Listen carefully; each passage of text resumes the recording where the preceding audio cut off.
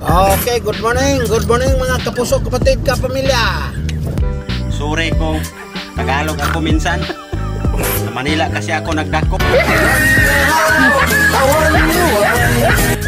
Ito tayo southbound lane. Ah, approaching tayo ng Hilpuyat. Buendia. Oh, medyo ano, matraffic. Pero moving naman. Mga kapuso. Time check, alas 9.56. December 4, 2024 po. Happy New Year sa lahat ng nakikinig sa aking stasyon. Sa aking mga follower, good morning sa inyo. Happy New Year. Ah, Boindia, Boindia. Yan, Makati. Oh,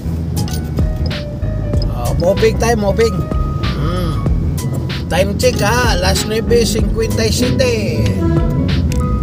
Araw ng Huwebes Thursday.